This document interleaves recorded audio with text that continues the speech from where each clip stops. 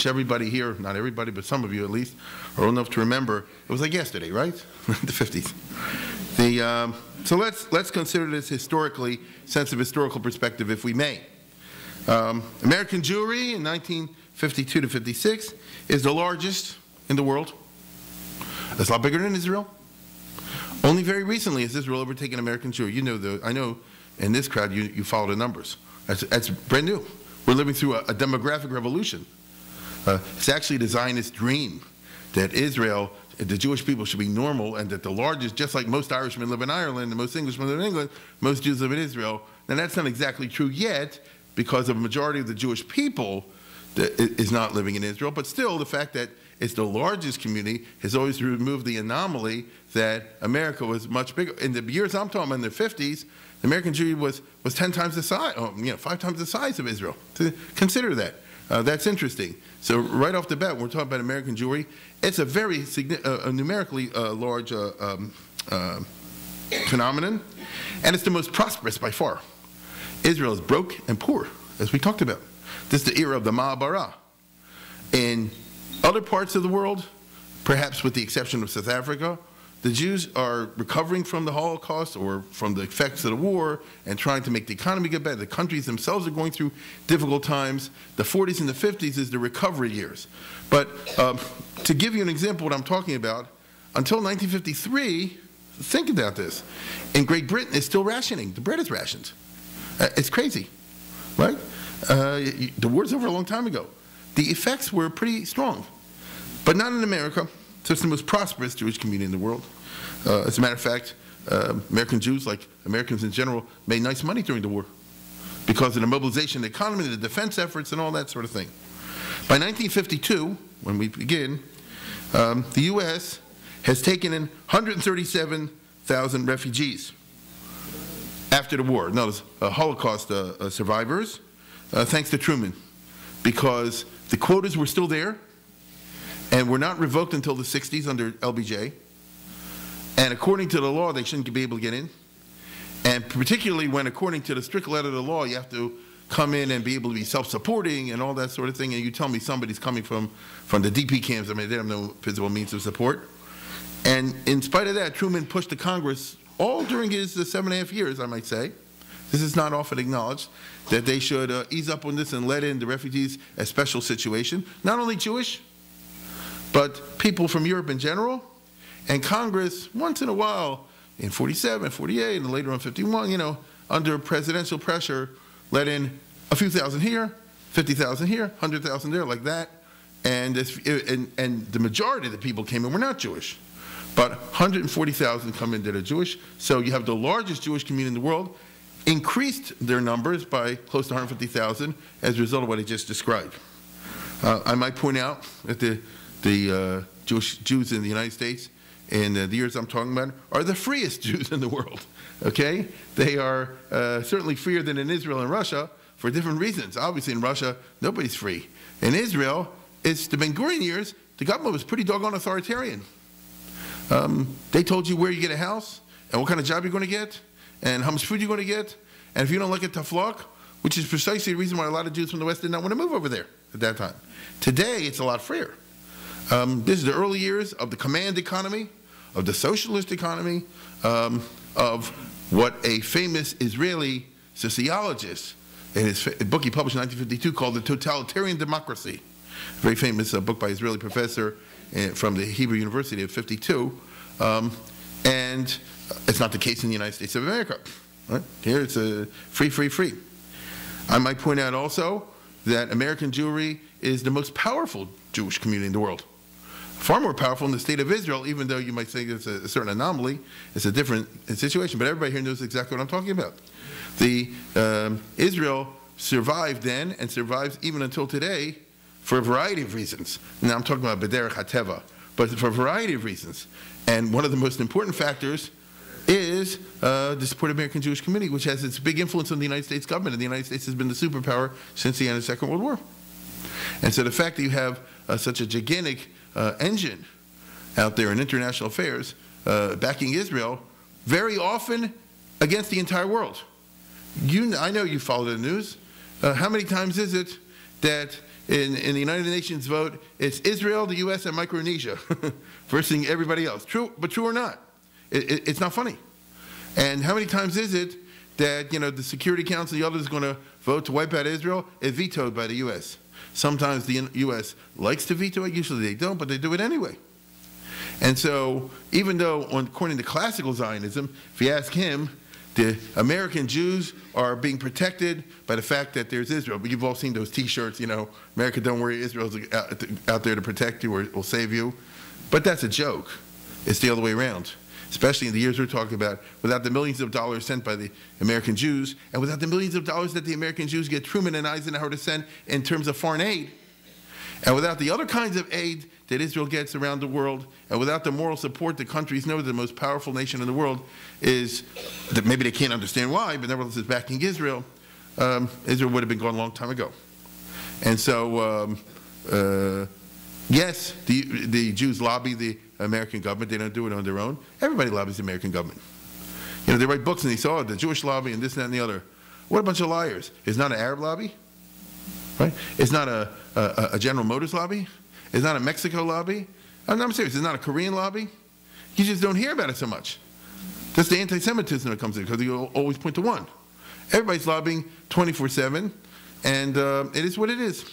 So the Jews are the uh, most powerful, and this will be true as the 50s and 60s go on even more so because the new nations, what they call the third world countries, they come into being, um, are desperate for American help, and when they go, they, they, they, they, totally buy into what you call the protocols of the elders of Zion.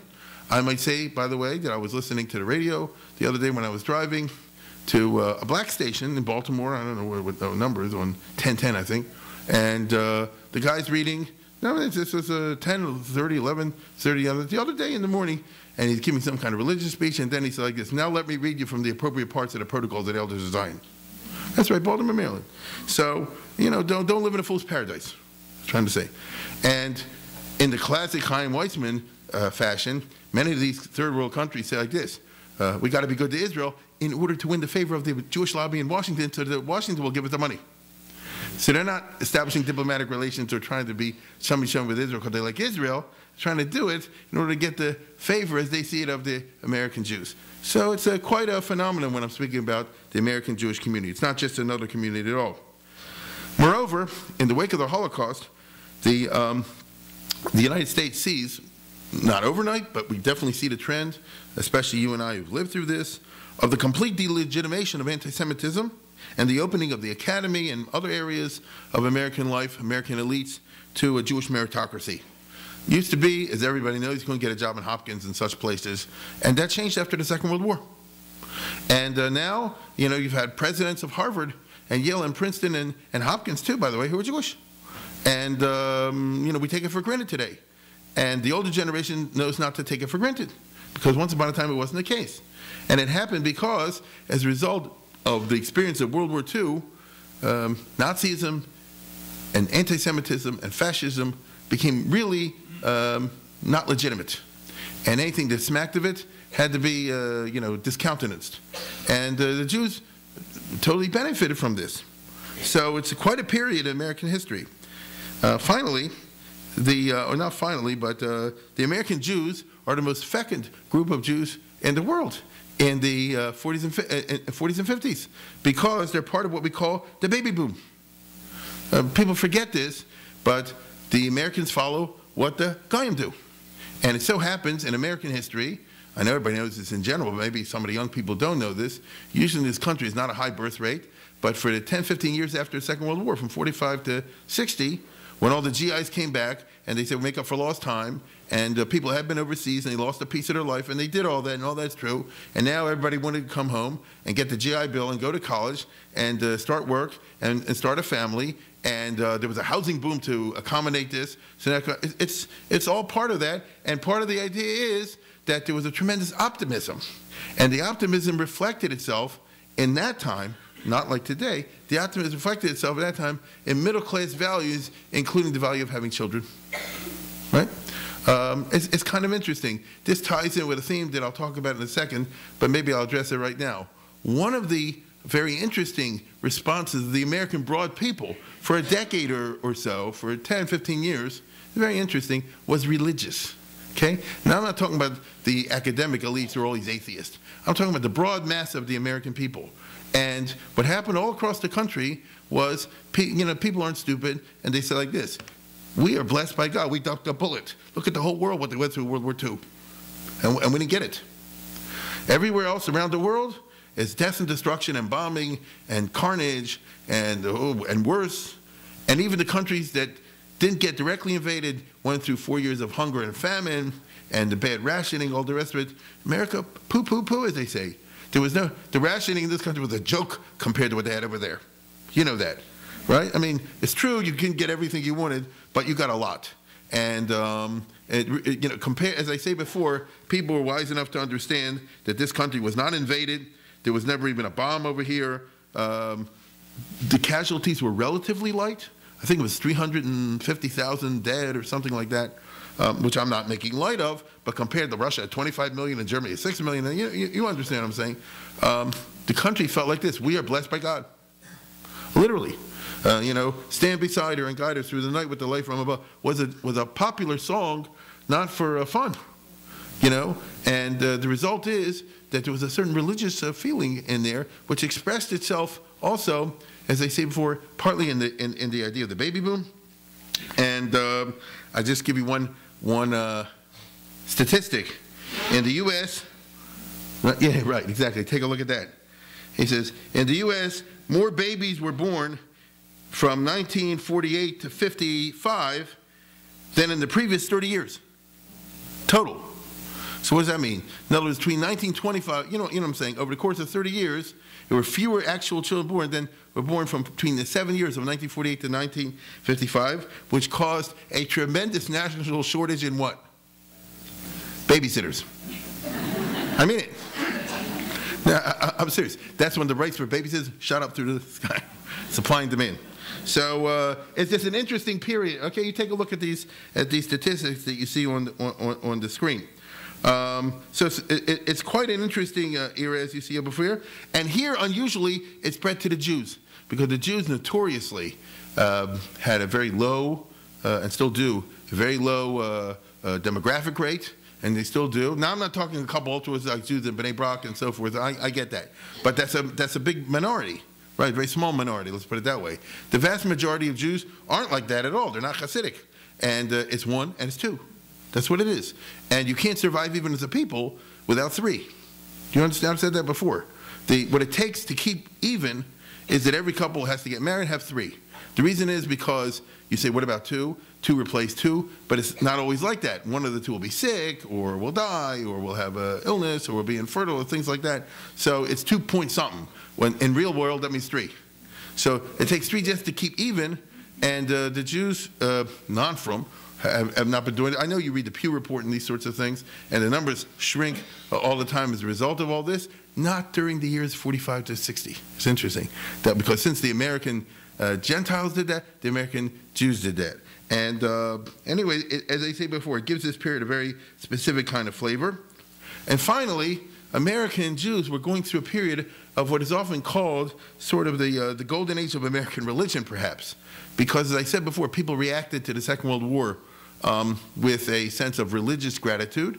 Again, not the high intellectuals and the writers and the, all that type, but the regular mass of people over there. Truman was very religious, and Eisenhower made religion a cornerstone of his administration, which he saw as America's number one card against the Russians. They're, he always said, I guess they're atheists, they're despots, they have no uh, respect for anything uh, sacred, therefore they lie and they don't keep their word. And uh, that's why God, communism doesn't mind killing tens of millions of people and they go to sleep at night. They, you know, they don't believe in God. You see, and we're a country that's very different. This, of course, is going to have a hashpah, uh, an influence on the American Jews. Take a look at Eisenhower's inauguration, where before he gives his speech, he says, I want to start with a little tefillah the first person to do this, and it's absolutely characteristic of the 50s and of the Cold War. This is Eisenhower's first inauguration.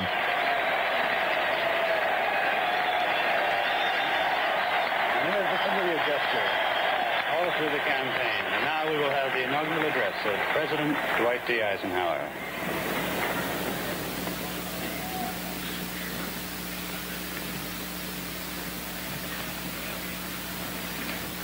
My friends, uh, before I begin the expression of those thoughts that I deem appropriate uh, to this moment, would you permit me the privilege of uttering a little private prayer of my own?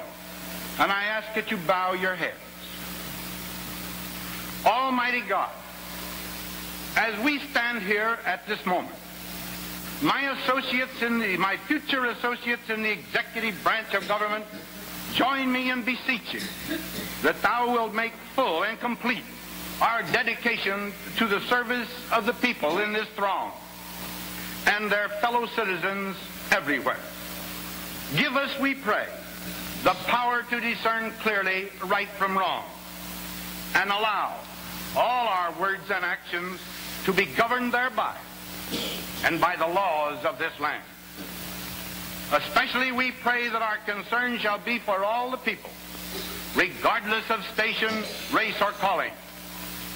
May cooperation be permitted and be the mutual aim of those who, under the concepts of our Constitution, hold to differing political faiths, so that all may work for the good of our beloved country and thy glory. Amen. So it's, it's part of a prayer, you know. It's not a favorite one, really, but and, and that's the message of the Eisenhower years. Everybody in America should be religious. You pick your religion. Nobody's telling anybody what to do, right? But everybody should be religious. If you want to be American, so we want to see you in church on Sunday or in synagogue on Saturday, you know, or, or mosque or whatever you want to do. But you should, you, but, but, but something you should do. So that's the cultural message of the 50s, of the post-war era in general, and if you see the President of the United States do it in general, it becomes accepted as very much part and parcel of what America is. I'll show you another little piece from Frank Capra's famous business, Why We Fight, that they did during the Second World War. Um, it's American propaganda to say, you know, who are we as a people? Just a tiny little clip. The press? Yes, it's the biggest, but most important, it's the freest on earth. Over 12,000 newspapers of all shades of opinion. Books on every conceivable subject. And more than 6,000 different magazines, not counting the comics. Churches, we have every denomination. 60 million of us regularly attend. And no one dares tell us which one to go to. So you see, there's a shoulder too. Okay? That's the point. So these are the general messages. Consequently, unlike European Jews, American Jews in the post-war period want to be perceived as religious, even if they're not interested in fundamentalism or nominalism. So in Europe, especially after the Second World War, it's secular. You just don't do anything. That's what the Christians do more and more until, as you know today, religion is dead in Europe, and the Christianity I'm talking about, and the Jews do also. Uh, if somebody's not a firm believer or something like this, why waste your time with uh, meaningless uh, ceremonies? Not in America. You want, you want to get a job, you want to join a club, you want to do something with you want to, you know, the FBI investigates it, what's your church? Right? But what, what kind of religion are you? You have no religion? Really? No religion? What, what is that? And so the American Jews don't want to be like that. And um, Therefore, even if they're not interested, I say before, in a Torah Sinai or something like that, but you want to be uh, uh, recognized as religious. For this reasons, American Jews in the post-war period flocked to Reform and Conservative Judaism. Indeed, the 1950s are the golden years of Reform Judaism and Conservative Judaism, with very large attendance at services, at least on high holidays and simchas. Uh, well, we'll see about that in a minute. Traditional Judaism, associated with the Yiddish-speaking, but not particularly observant Orthodox synagogue, is in ripe decadence. It held the interest of the older generation, but does not appeal to the Americanized young, the Jews of mid-century. The old ones that came over, and maybe a little bit more, like the haimish atmosphere of the Yiddish and all the rest of it, the young ones don't like the Yiddish. Today, you take Yiddish courses because it's dead. But at that time, you know the story, the parents spoke to the kids in Yiddish, and the kids answered back in English. You know, they don't want to talk like that. The young, this huge demographic, the American Jews of the mid-century decades, that's a large group. These are the ones born in the 1920s and 30s and 40s. It's a large group. Um, where will they go? These, this is the prize that all the denominations compete to win. Because that's the future if you're going to be successful in terms of the numbers. They come, this demographic, from traditional homes, often with a dose of Yiddish language, But they themselves, born in the 20s, the 30s, 40s, they have no chinuch. They're public school product, products. The Yiddishkeit they have grown with, up with does not necessarily translate into halachic punctiliousness at all. Here we have, uh, uh, this. Is, I'll show you, I'll, I want to talk about those in a second. This is something, I won't say who it is, a friend of mine sent me this, and uh, this from the 50s. Uh, here's a Seder, it's Orthodox. Uh, hear me out. It's, a Seder in Baltimore, Maryland, and one problem, what the heck is somebody taking a photograph in a Seder? It's the 50s. No, that's my point. You get it?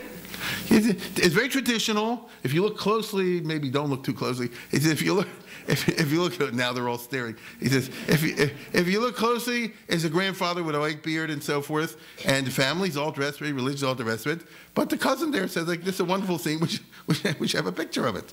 You see, it's the 40s, it's the 50s. So as I say before, the traditionalism doesn't necessarily translate into halachic punctiliousness. And I'm sure you know Professor Chaim Soloveitchik has written that famous uh, essay. They're, they're publishing it now. I think rupture and transformation. I always think that has to do with a hernia, you know. But, but nevertheless, or reconstruction. Yeah, that's even better. You know, rupture reconstruction. But uh, what he's talking about the difference between the, the, the this, but he's he's Chaim Soloveitchik is not a young person, and he's in the 70s, and. Um, um, he, he's from that demographic. I mean, he grew up, I don't know, the 30s and 40s or something like that. And he writes about his father, Rabbi Yoshe Ber Soloveitchik, synagogue in Boston, which uh, was full of Yiddish-speaking people, all the rest of it. But the traditionalism does not translate into halachic punctiliousness. And he talks about, you can read it. He said the president of Shul insists on bowing down on Yom Kippur for, you know, for the Kohanim, and all the money rolls out from the, from the pocket, right? But both are significant, right? But isn't giving it. His whole point is like this. But the guy wants to be in Shalom Kippur, and moreover, of course, he knows that you do Korim. You know, the Hakohanim, that, that's what you do. And people speak, so it's that kind of a, a, a very interesting uh, sort of era. 1952 to 56 is a golden age of conservative Judaism. I repeat, conservative Judaism, which appeals to the largest segment of the young, of this demographic, the children of the traditionalists. Those, again, as I say, born in the 20s, 30s, and 40s. Uh, conservative Jewish leaders attributed this to the power of their ideas and the force of their personalities. Here's Louis Finkelstein, the head of the, the chancellor of the Jewish Theological Seminary, got on Time magazine. I mean, in America, that is the first. Okay? That a rabbi, as a rabbi, should be on the cover over here. And what Time magazine is saying is like this this is, you know, the, the, the, the peak of American uh, Judaism. Okay? But in spite of what the leaders argue, the polls always indicate that conservative Judaism is the most popular because of what I always call the Goldilocks effect, right? You know, Goldilocks. This bed is too big, this one too small, and this one just right. And so the polls always tell you the reform is too not religious, the Orthodox is too religious, and conservatives just right. Okay, so it's got nothing to do with the. They don't read Louis Ginzberg's uh, responsa, and they don't read the learned essays of Saul Lieberman or uh, you know Abraham J. Heschel or something like that. It's Goldilocks. Right? And that's, you know, das ist was the public wilt, as the, as the old uh, song goes. This, this, this, works great, and uh, it's, it's, it's uh, a powerful demographic, and plus, it coincides also with the huge post-war move to the suburbs. Because they say before, everybody came back, they got the GI Bill, they're going to go to school, they're going to make money, they're going to win a house, Everybody's getting married. It's none of this business of people living by themselves or whatever, you know, living with others. It's, it's the traditional situation. Boy wants to marry girl after boy finishes college or something like that, or at least halfway through. Remember, the GI Bill is paying for the college. Okay? And boy wants to be a dentist or something like that. Girl wants to be a housewife. Ozzie and Harriet. Right? It's not, a, it's not two salaries yet. It's the good old days when Harriet can stay home. Ozzie's the one I'm working. And so uh, it's the American dream right? You move to a nice place, you have a couple of bedrooms, uh, you know, a, a, a, parking lot. Consider in the city, you know in Baltimore, Maryland, there was a time, and in cities across the United States, you were not allowed to park on the street. That's why if you go to some of the neighborhoods downtown, they, you know, they, they, if they tell you long ago, uh, you couldn't have a car if you lived down there, simply because there was nowhere to put it. Unless you were very wealthy and you owned something called a garage, in down, you know Monument Street or someplace like that, which is which wasn't done, maybe uh, some of the very rich people on uh, Mount Vernon Place or something like that. Um, and now you move out to the suburbs. First of all, you can not only park at the streets, you can actually stick it into the driveway. you know, what we take for granted was was brand new in America is, is unparalleled luxury. You understand? And so the result is that if you're moving out to the suburbs, you're not, where's the shul? Got to drive. You see? So it's part of the Goldilocks effect. it's not that, uh, they, you know, if you go to Orthodox shul, they're going to still stay in the town. And, and, and otherwise, they'll tell you, you know, live near the shul or, you know, don't drive or something like that. To the Orthodox, of course, who are losing right and left, I mean, they're hemorrhaging. Orthodox, if you identify the Orthodox as the traditionalists, they're, they're bleeding. Uh, they say, this is not a, a worthwhile, this is, uh, um, what do you call it? The weakness of seeking a life of ease. Okay? Just looking for the easy way out. Don't want to keep kosher, pain in the neck. Don't want to have to keep Shabbos, can't turn on the lights, can't see the TV, can't do this, can't do that. Who wants to be part of this? Okay? And uh, the Orthodox say, so it's not a matter of, of, of, of philosophy or something like this. He's just looking for the easy life. And oh boy, Rabbi Kotler, and, and even Rabbi Lookstein from the opposite end of the Orthodox spectrum. Uh, what is he? He's, he's saying conservative Judaism is legitimate? No, it represents weakness. Come to my shul. Everything's very modern, everything's very orthodox, and you don't have to, uh, you, you can live actually without turning on the lights. So uh, the masses, however, don't listen, they vote with their feet. They can make all the speeches they want. But if you look at the numbers in 1945, 1950, 1960, and these years, the public does what the public wants to do. They're not interested, they don't even know these guys exist. Nor did joining the conservative synagogue mean that people start attending uh, services uh, more often. Already in the 40s, conservative rabbis are complaining about that well-known phenomenon, the large synagogue with rows upon rows of empty seats on a regular Shabbos. The same phenomenon that had marked traditionalist orthodoxy as decadent. The whole argument that conservative Judaism had propounded ever since its origins, and particularly in the 1920s and 30s, are Orthodox shul is old guys, there's nobody's there. On shul on Shabbos morning, it's, it's 10 old men, 20 old men, uh, a few Alta Yidnas maybe. Uh, the regular public is elsewhere. Uh, they're at the golf course, you know, wherever they are. We're going to bring them in. If we change the order of prayers and you change the seating arrangement and change this, that, and the other, then they'll bring them in. It wasn't really true in, in a factual basis. Uh, you bring them in for high holidays in big numbers. You bring them in if it's a bar mitzvah or it's a simcha or some special occasion. But in ordinary time, even with the driving, the parking lot's empty too. And these were the issues that conservative Judaism movement writes about in their internal documents, which are fascinating to read um, in, this, in this era. Conservative Judaism in the USA has always been conflicted between its right and its left. That's a, a very interesting feature of the history of conservative Judaism. Now, it's also true of Orthodoxy as well. But I'm, I'm, for the moment, I'm speaking about the conservative movement, which is about 100 years old. It's now the year 2014 we just entered, and Solomon Schechter showed up here around 1902. So you can, you know, figure it's about 100 years old.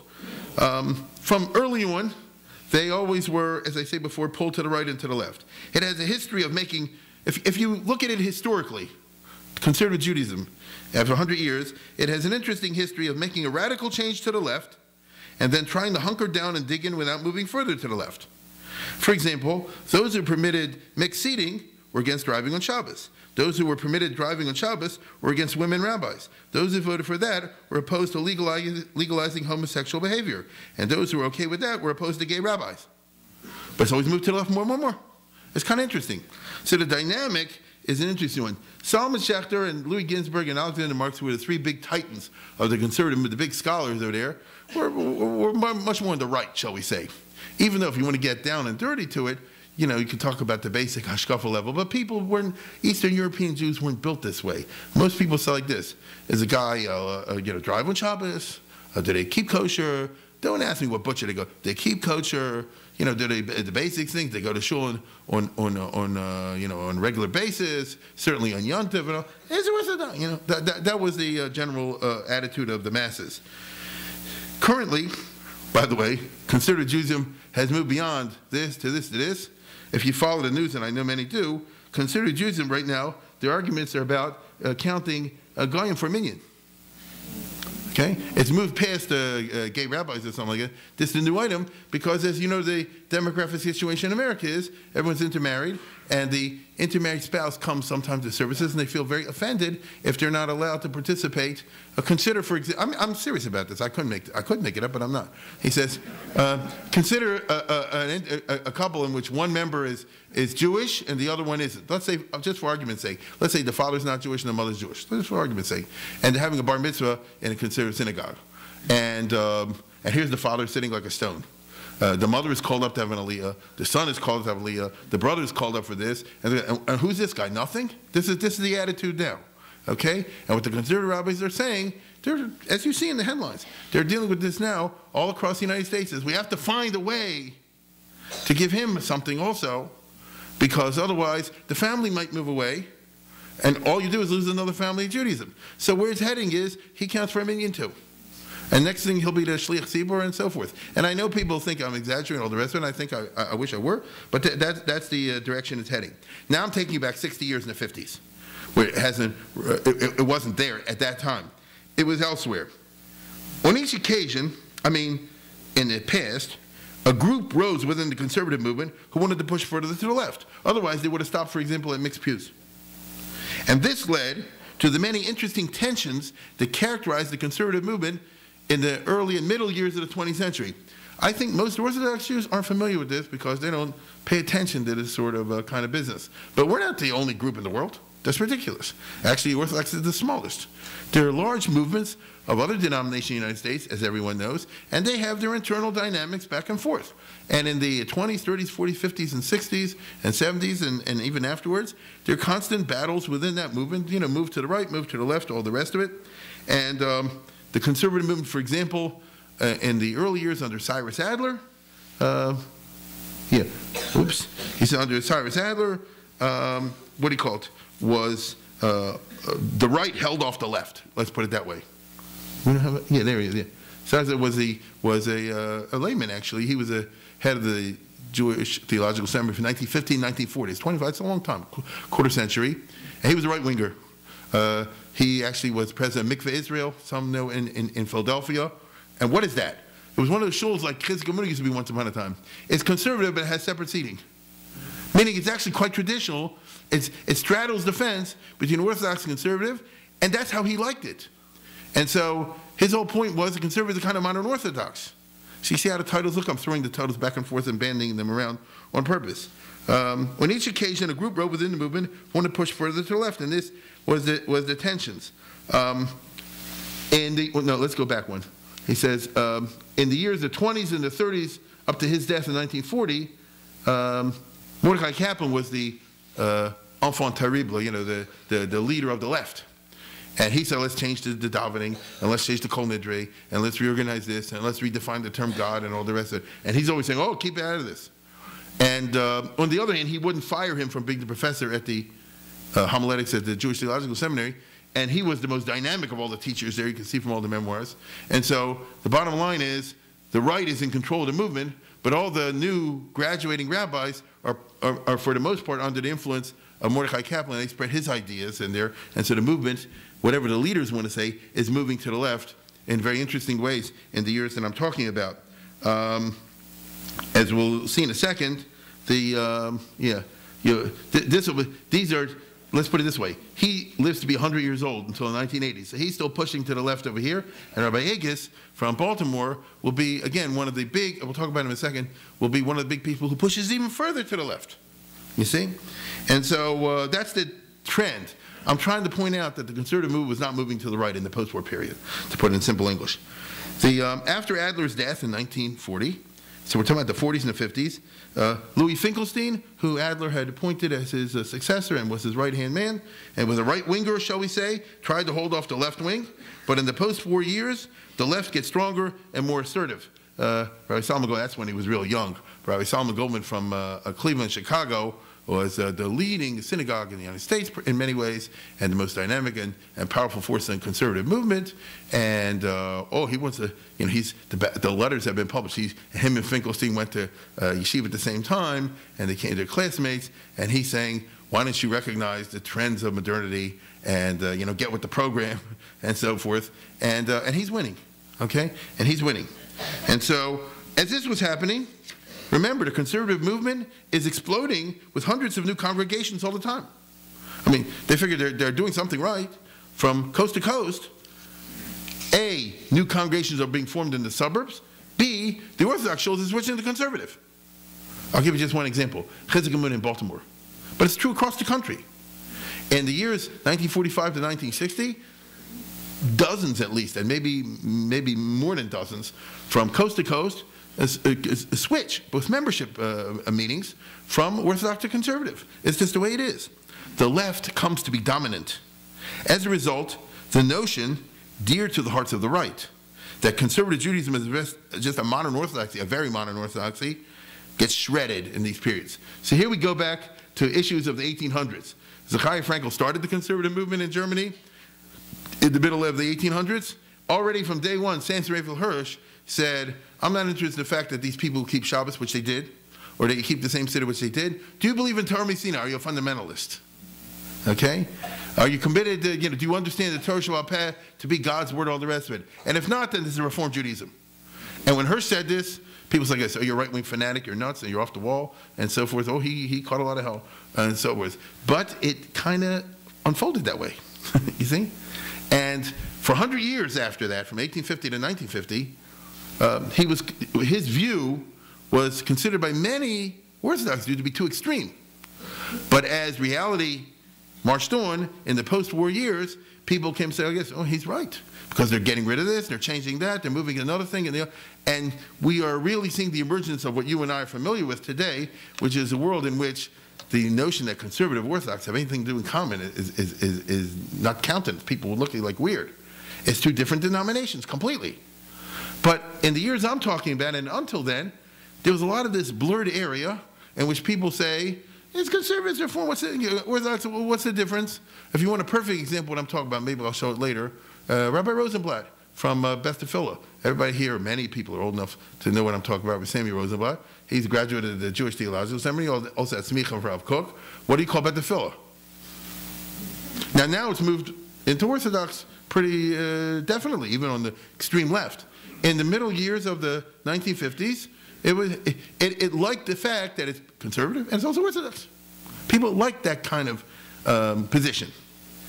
The Kodak moment of this trend in 1950, it's the tshuva, the responsum, preventing driving on Shabbos, which of course was published by Rabbi Agus, who says if you hear, you know, you can just read what he says. We'll never get anywhere by looking in Jewish law for answers, right? Past offers no parallel. To continue and modify the traditional interdiction of writing the Sabbath will lead to a Sabbathless Judaism. So we have to figure out how to uh, save Shabbos by uh, allowing driving. Um, this was the argument. Now, uh, by the way, Professor Rosalit, uh, Janet Rosenblatt in New York, has written very interesting articles where she did all the research. All you have to do is go back to the um, Rabbinical Assembly and the other conservative annual conventions in which they debate and discuss this back and forth, and papers are going up and down. And there was a lot of fights over this sort of thing. As you can see uh, from the opposite point of view, Rabbi Gordis, Robert Gordis, right? No, no, oops, guys. This is his father I'm talking about. Oh, that's him. Yeah, that's him. To modify Jewish law in order to bring in the conformity with the modern way of life is tantamount to amending the U.S. Constitution to harmonize it with the viewpoint of an anarchist, okay? Which is another point of view. And they, you know, they battled it uh, back and forth. Um, by 1961, incidentally, this is interesting, a decade later, the hoped for benefits of the heter have not materialized. They said that if you allow everybody to drive to synagogue, and only to synagogue and nowhere else, because that's what it said, you can only drive to shul. Um, this will bring the, the Jewish families and their masses to the synagogues on Saturday. But it didn't. So the United Synagogue, which is the umbrella branch of the conservative movement, sends out a questionnaire to 300 rabbis in 1961. Did we do the right thing? They ask. And I might say, populistically, they write the question, what is your opinion? Is it okay to drive to someone else's shul for a bar mitzvah? right? Because you only said you could drive to shul, okay? But on the other hand, it is going to shul, okay? So in other words, let's put it this way.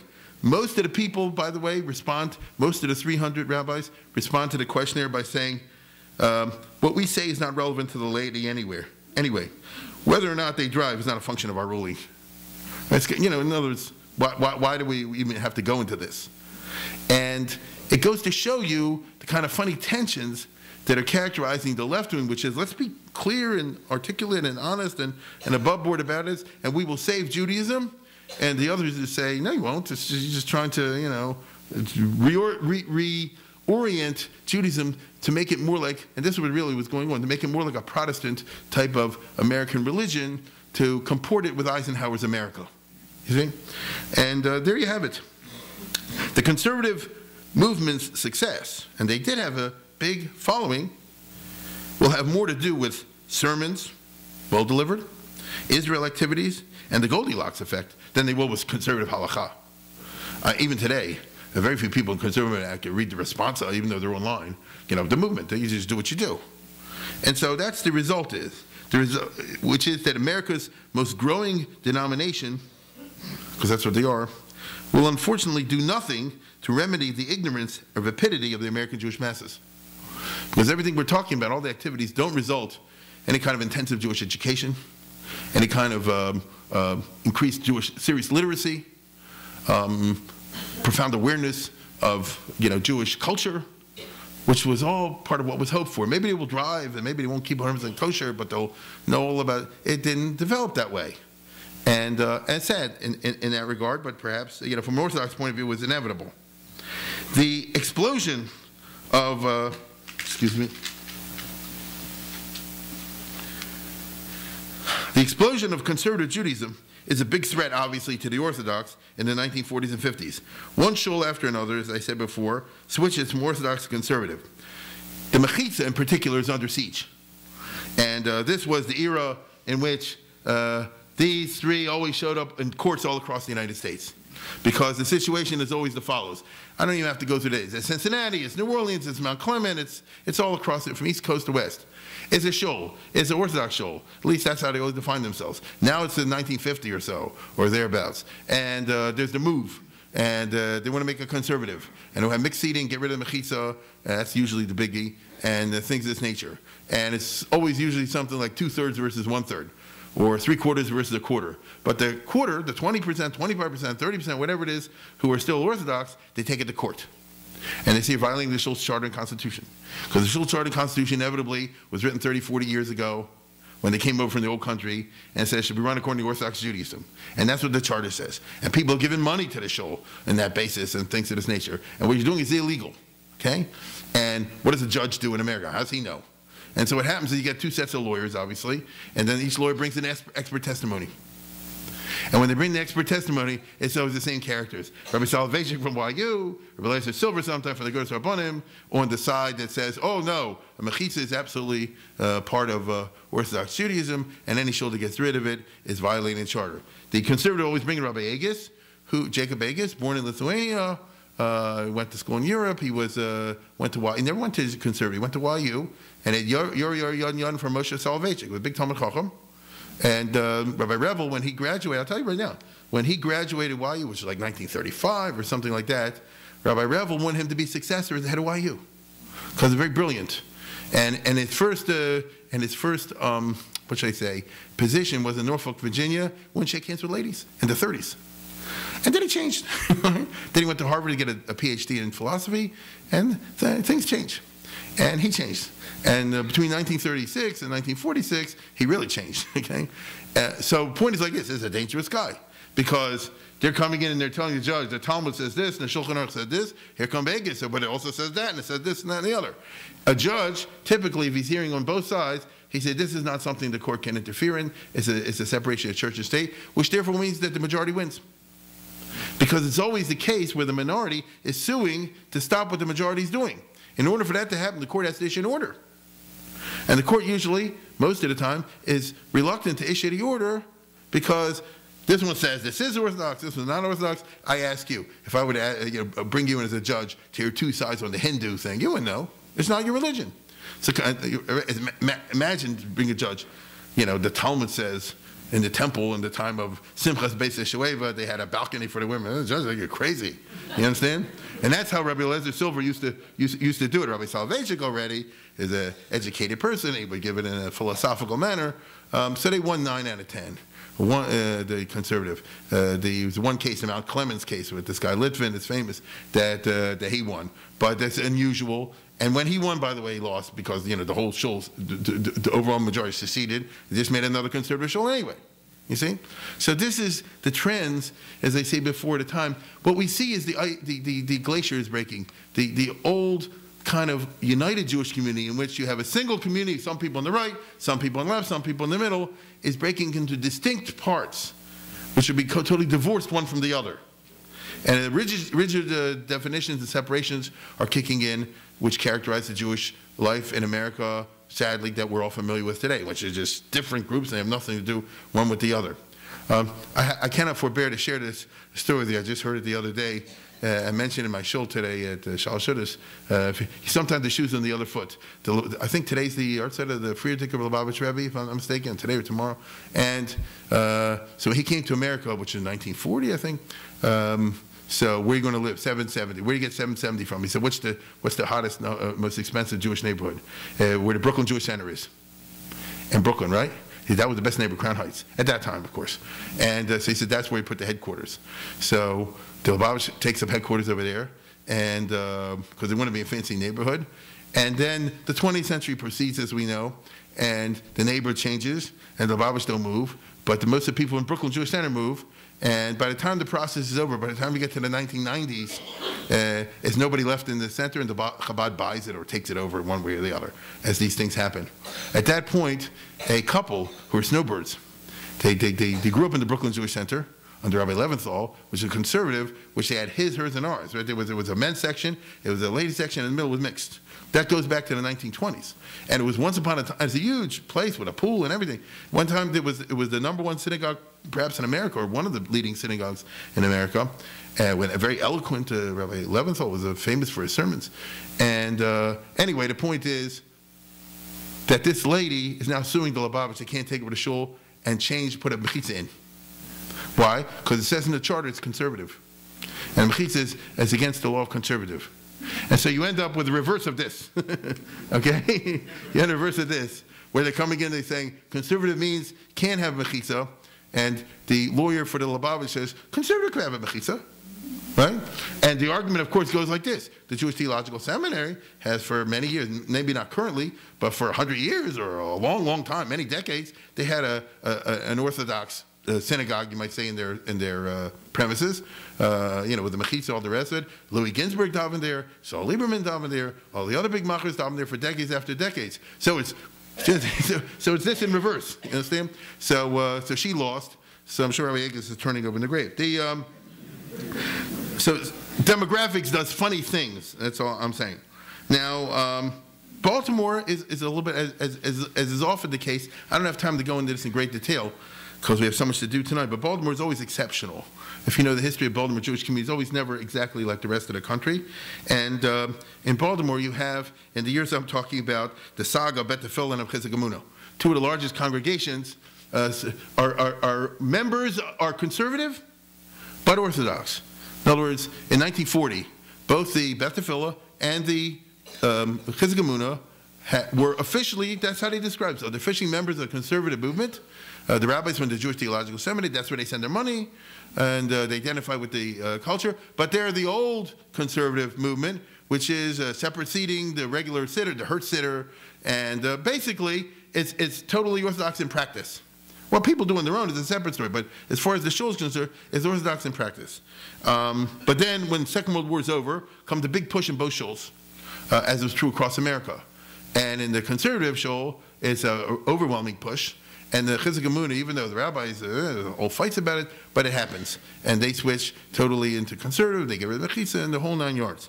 In the case of Bet uh, Rabbi Rosenblatt, as I said before, was conservative, but he was also Orthodox. And he was more Orthodox than conservative. And so he fought this tooth and nail, and he won by one vote. Okay? There was a whole group. You, by the way, if you think I'm saying this, go to the Beth El website. They'll tell you the whole thing uh, beferish. He says, uh, one group, these guys were rich and they were angry. The rabbis, you know, get them. And by the way, he was a man of principle. He had already taken it, he thought he was going to lose. And he already took a stellar in Toronto. You understand? Rabbi Rosenblatt, there was a, a shul, I forget which one it was, in Toronto, which was still conservative but much more traditional, and he was going to go there. So he was really prepared to go down on this issue. And the shul didn't want to lose him, and so he won by one vote. As a result, the, the losers said, okay, if that's the way it is, that's the way it is.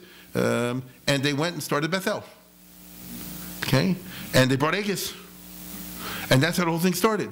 So um, Beth Tefillah, even to this day, has a kind of funny profile in, with these associations. But the key years were what I told you before was 1947, 48, all the rest of it. When the die was cast, they went with the Orthodox. You, you know that, that's just a very interesting fact due to the intense traditionalism that characterizes Baltimore, Maryland, which is not the same as, as is the case across the country. Um, I have to tell you another story now that I'm thinking about it. Charleston, this is a good one. Also, 1948, I forget the shul over there, but uh, Brish Shalom something or other, and uh, it's the big, it's the big uh vote, and uh, they had the big, the big meeting, and it's uh, I think five speakers on this side and five speakers on this side, and the guys in favor of the conservative they have the speeches, and then they have the five on this side, and the first guy says like this. He says, "How can you change the shul? This was founded. It's a frum shul. You know, they founded all the rest. Of voted down." The next guy said like this: Our fathers and mothers started this shul with a certain idea, and they poured sweat and blood into it. It's voted down. The third speaker, it says, with a little guy, a pants presser, and he said, "I guess I'm warning you. You have conservative shul. You're gonna have a lady president." They voted it down. so America is a funny place when it comes to these sorts of things. Now, the Orthodox in general have the great task or challenge how to win the hearts and minds of the mid-century generation American Jews. How do you win over the guys who were born in the 20s, the 30s, and the 40s, to put in simple words? You know, who are not going to refrain from driving, and they're not going to stop turning on the lights on Saturday. That's who they are. So how do you keep them in the Orthodox? Um, two schools of thought emerge. One is modern Orthodox, as the term was defined at that time. It's not the same way the term is defined today. The least you can do because the theory is copy the competition. Anybody in business will tell you that, right? If you got a restaurant, the other one's doing this, at least do what the other one's doing. And so, if the conservative have a number of features that are drawing people, do the same thing. Have uh, English services, um, have responsive readings, have uh, Friday activities, have clubs, you know, all th anything you could do within the Shulchan Aruch, you know, right? Do it, because why not? If they got a bowling league, why shouldn't you have a bowling league? It doesn't make sense not to. You see? And so whatever you possibly can't get rid of mechitza. We're stuck with that. But everything else you can do. That's that was the uh, theory behind it those days. Now um, this strategy has a certain success, but for a generation or so. It's very interesting. Looking back as a historian now with, with, with hindsight, we can see this worked for that generation, what I just described to you. It worked for the Jews born in the 20s, the 30s, and 40s, so to speak. And it was attractive to them, and that's why you had tons of synagogues here and across the country in which the Jews, they drive, they do this, that, and the other, but they all go to uh, Orthodox, modern Orthodox synagogues, um, which, you know, don't bother them too much, and offer many, many activities. And it, it, it did honestly capture their interest and imagination, but not their kids. That's the interesting part, right? Not their kids. And so the result is you have in Baltimore, of course, but all across North America, a situation in which this particular demographic uh, takes over or becomes a shul, let's say, for example, in the 50s, and, the, and let's say they're young, and they're still there in the 60s and 70s, they're a little bit older, and they're still there in the 80s and 90s, to now they're older, and now that uh, the, the end of the 90s, beginning of the 21st century, they're dying out. And, and what's the point? They're the only ones. The kids aren't coming. The kids went to public school. The kids grow up, one thing, they, one thing sure they don't want to do, they don't go back to that shul. These groups are, the people I'm talking about, very comfortable in the shul. This one's the gabbai, and this one's the, the chairman of the breakfast committee, and this one runs the Sunday programs, and the other one's in charge, I say, of the bowling league, and this one's in charge of the Israel bonds, and the other one's in charge of the trips, and, and all which is good. Can't get the kids to be interested in it. So it was a strategy that did work for a certain demographic. And the modern Orthodox patted themselves in the back and said, look how many people are keeping from going conservative. If you want to put it in halachic terms, all these people, is the, the, the, marriages and the divorces and all that sort of thing will be kedas or kedin as much as is possible. We're doing a, miss, a big mitzvah. We have to stretch here and pull here and cut corners here, all the rest of it, but there's a reason for it. You see? And it was, as I say before, a temporarily successful. If you went back to Baltimore, Maryland, for example, uh, 60 years ago, I could probably name, and Jake certainly could name, you know, two dozen shuls or more that no longer exist. but were flourishing once upon a time in Lower Park Heights and Forest Park and places like that, all over the place.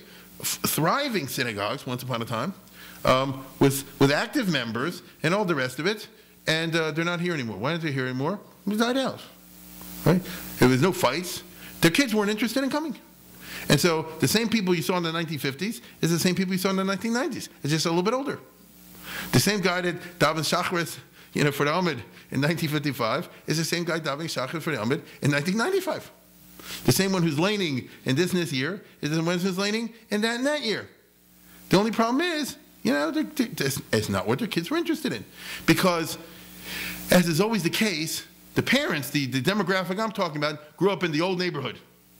And therefore, the sounds of Yiddish and a certain amount of Yiddishkites were native to them and felt, come from Mankosi. Their kids, on the other hand, grew up with zero Yiddish and totally public school and went to college. And why would anybody want to go on a Saturday morning, waste their time? but that sort of thing. That's the end. It just wasn't relevant to them.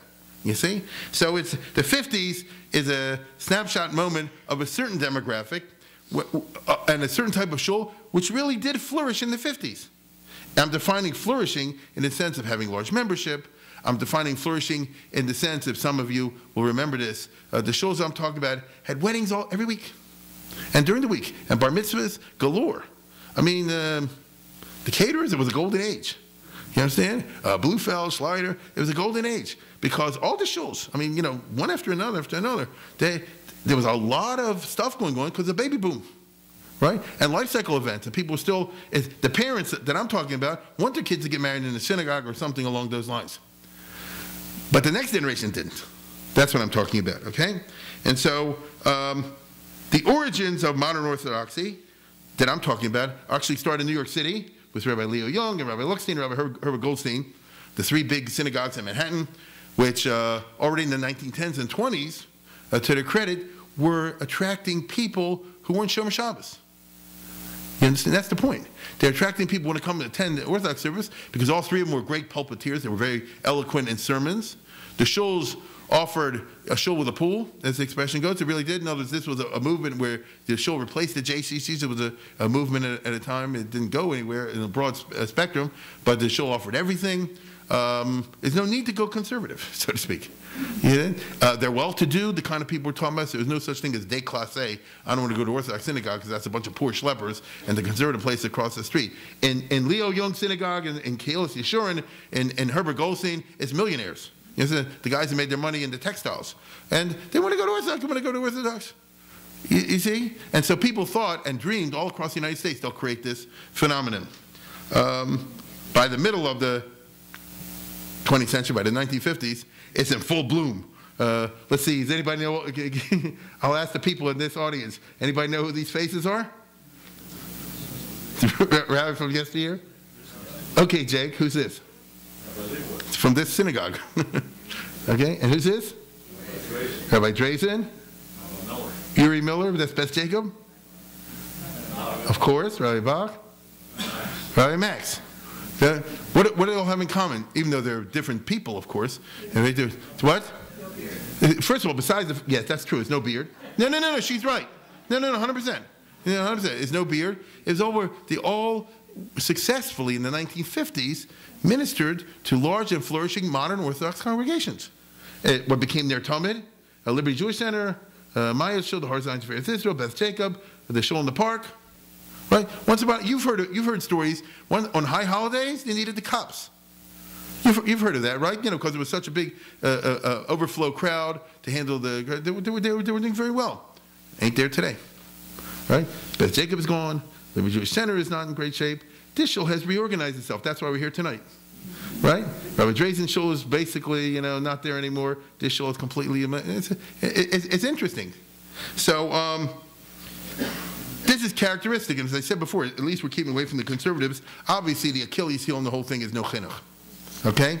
The Achilles heel is that they, they, they think Achilles heel that hit the conservative, which was no real education. Yeah, they had afternoon schools and Talmud Torahs and synagogue, uh, all that, but we all know that that's a waste of time, unfortunately.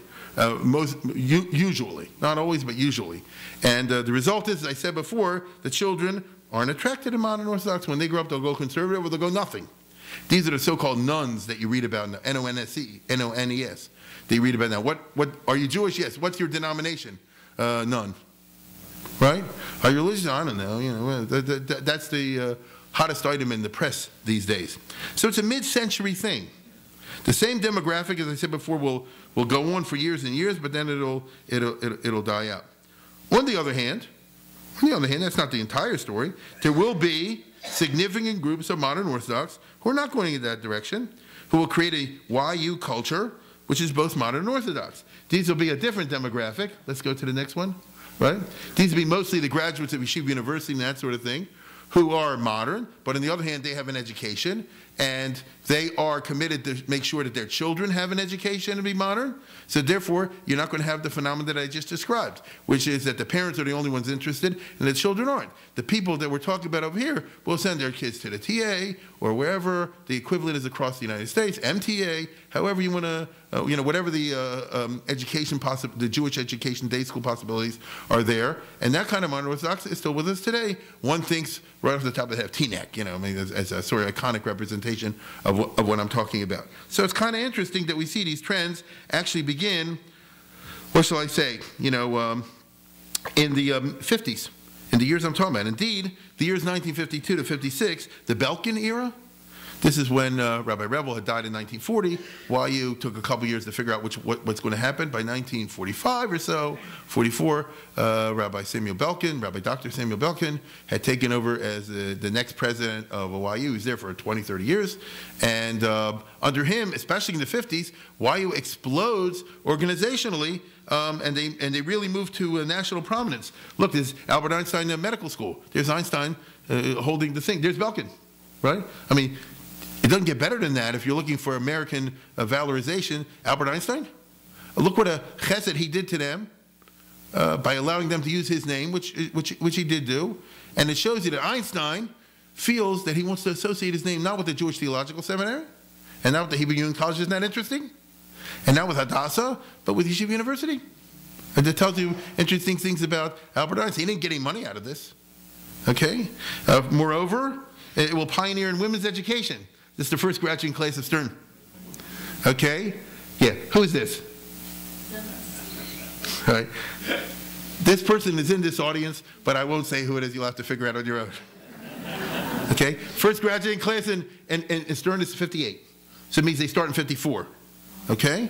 Um, you know the, the idea of a Stern College and hire women's Jewish from education, revolutionary, correct?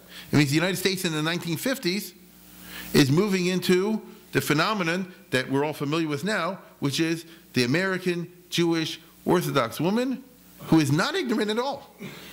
This is a revolution. And the years are the 50s. In fact, it starts in 50 to 56. It's, it's no Kleinigkeit. If you want to, um, uh, let's put it this way: if you want to talk about, um, what shall I say, Beis Yaakov, also starts in, in, in these years. Uh, Yeshiva University, by the way, will have renowned uh, Rosh Yeshivas in there. Does anybody know who that is? Very good, David Lifshitz. Yeah, who was number two, the Rosh Yeshiva Bear. Everybody was young once upon a time. At least that's what the historians tell us. Uh, but on the other hand, it will not be what it aspired to be. YU will not, Yeshiva University will not gain what, what it aspired to be, which would be the defining institution of American Orthodoxy. It will not even be the dominant one, but it'll be one of them. No one institution or trend will comprehend in mid 20th century the totality of Orthodoxy in America. Now, why do I put Louis Brandeis up there? For economics reasons. He's famous, for, I'm not talking from the Yiddishkeit point of view. Brandeis is famous for small is better. He saw this 100 years before the rest of us. The, uh, in the economic world, they'll tell you what's good the big companies or the small, hungry ones. Right? Um, the, the beauty of the states, the Constitution of the United States, Brandeis argued 100 years ago, was each state can experiment on its own.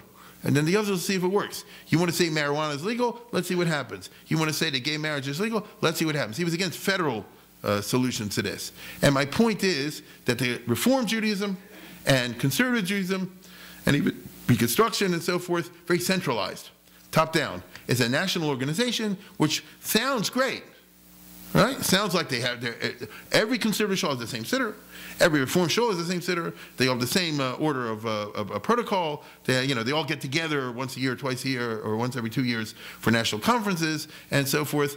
the rigidity and the homo- homog- homogeneity which is imposed by that stifles individual creativity. It stifles initiative. And in the long run, is is not good for the enterprise. Orthodoxy, the idea that all the Orthodox ever get in a room all together is a joke, right? Nobody fights and is disorganized as, as they are. As, Orthodoxy identical with chaos. That could be a plus. Why is it a plus? A thousand flowers bloom, and everybody tries their own thing. Shlomo Carlebach, eh, Lubavitch, eh, YU? Eh? They're Israel. Uh, minor Orthodox. Now they have open Orthodox. They're this. It's a, and you see, the market tells you what works and what doesn't work. Ah, you'll have competing, overlapping sorts of. So what? As Brandeis would argue, it's better to have a certain amount of competing overlap. In the larger picture, the more, most creative solutions will emerge as the dominant ones, and will more than make up for whatever little, um, you know, what's, what's the right word, overlapping and redundancy that's out there. You know, to a certain CPA type mind, the slightest redundancy is a waste of time and money and all the rest of it. But in the larger picture, if you're running a dynamic corporation, you say let the different, you know, branches uh, battle it out with each other for the toeles, for the benefit of the whole enterprise. And so nobody got together, you know, five people didn't together in a room in 1950, Rabbi Aaron Kotler of Salvation, go, let's all fight each other. Yeah? But that's the effect of what happened. It's kind of interesting in this regard. Um, and so the post war years sees the emergence for the first time in America, for the first time ever, of a Haredi trend, as they call it today, which is a trend that gets traction for the first time from native born American Jews. If that didn't happen, then this would not be interesting. You understand? If this was just something involved some old timers or whatever, it'd just be a, a you know a, a, a piquant little uh, footnote somewhere. The point is that these people come over to the country and they get interest and traction from boys and girls born over here, speaking English. That's the freaky part. That's something that the sociologists never figured out. Um, the trend is twofold. First, of course, the easiest one, the Hasidic. Who would ever imagine that people like this, and who look like this, the Satmar Rebbe, the Frierdiker Rebbe, the Lubavitch Rebbe, would get interest from, uh, let's say, college graduates from native born Americans, from people, from, from doctors and lawyers and so forth. They look so foreign, so, and they don't talk English. They're against talking English, right? They're against college. The Lubavitch was interviewed. They said, Are you for I'm against college? You went to college. He said, Just because I jumped off the third story and didn't break my leg, I'm not telling someone else to do it. You see? And in spite of that, you know and I know. Uh, the Chabad, the physicists, and the big people, right? Let alone the. so the fact that native born Americans as late as today, 60 years later, want to be Satmar Hasidim. I want to dress like that. And want to be, uh, you know, this other type of, whatever particular type of chassid you're talking about, is, is quite un, unexpected. Okay, it's a trend that develops in the 1950s, because guess what? These people weren't here before that. They physically weren't here. Um, Hasidism is an American phenomenon, as the choice of tens of thousands of American born here starts to come together only in the early 50s. I'll tell you again, we're so used to it, we don't see the forest around us. Right? We've all grown up with this. But it's a remarkable phenomenon that has no parallel in Western history. The Jews should, on purpose, having grown up in America and having all the possibilities, go into a ghetto, if you want to call it that, and like it. Is what they prefer to do was completely, you know, would have been completely rejected by any prognosticator back in the 1950s. Today, there are 200,000 Hasidim in America, maybe a little more. This is a shock to the federations, obviously.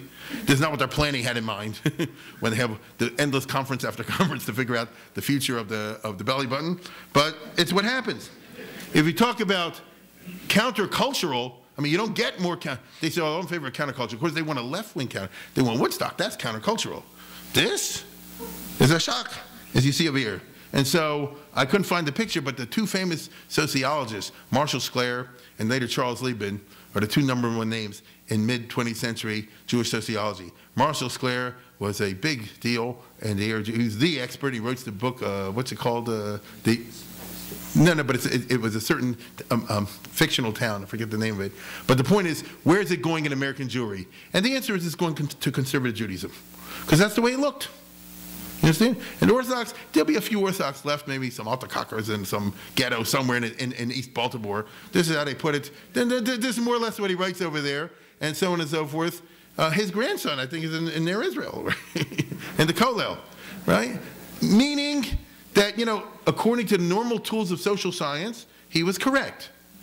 But he, as is often the case, these sociologists and other social scientists, they, they don't understand the deep trend. See, I'm a historian dumping on sociology. That's what we do, you know? So I say, you guys look at the surface, ephemeral kinds of phenomena. You count heads and how many people are in the synagogue. And Constantine said, look at the roots underneath, and then you'll see which way it's heading in the future. But nobody did that. And it wasn't until uh, the 1960s, 1965, Charles Liebman, who was a very famous uh, sociologist also, um, he writes a book called Orthodox Judaism in America, in which he informs the non-frum, as it were. Uh, guess what? There's a whole flourishing subculture going on over here. Have you ever heard of a place called Lakewood? Have you ever heard of a thing called Lubavitch? There's even something called Satmar, and it's in Williamsburg, and this and that and the other, and they branch across the country. And this was, you know, he was invited to speak at federations across the country because he discovered America. you see? And, uh, and by the way, he was a half conservative, half Orthodox type guy. I mean, he was, he was a man of the middle, but he knew the sociology that he was speaking about. Okay? Now, um, it's kind of interesting. All this starts, as I say before, in there. Hasidism does not locate itself like the Amish in central Pennsylvania. They don't, th- th- maybe people could understand that. The Satmar Rebbe will move, you know, to the Amish country or some equivalent thereof, set up his own little area, what you would call today square town, written big. No, the Hasidim all locate themselves in Manhattan and adjacent Manhattan, the epicenter of modernity. Think about that. All these Hungarian, Yiddish-speaking Hasidim will, will come in and set up yeshivas and schools and Bais Rochels and all the rest of it, not that far away from Wall Street, not that far away from Greenwich Village, not that far away from the very center of Western creativity, which is, of course, moving to the left as 1950s, 60s, 70s, 80s, 90s.